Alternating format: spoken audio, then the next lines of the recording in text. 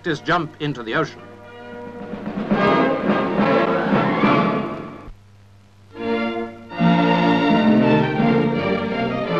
Old age pensioners Jack Nash and his wife of Bath have gone into the stately homes business, following the example of the Duke of Bedford and other landed gentry, to coin a phrase.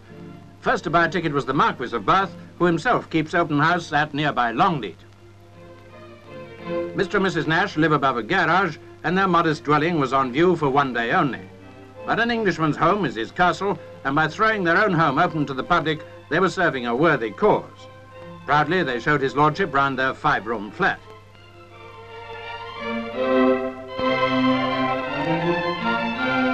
And it's not only the stately homes which have grounds for the public to visit, the Nashes too have their private garden.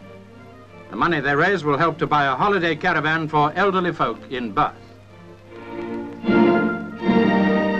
Let's hope Mr. and Mrs. Nash's enterprise may encourage people to take a more active interest in the lonely and the aged.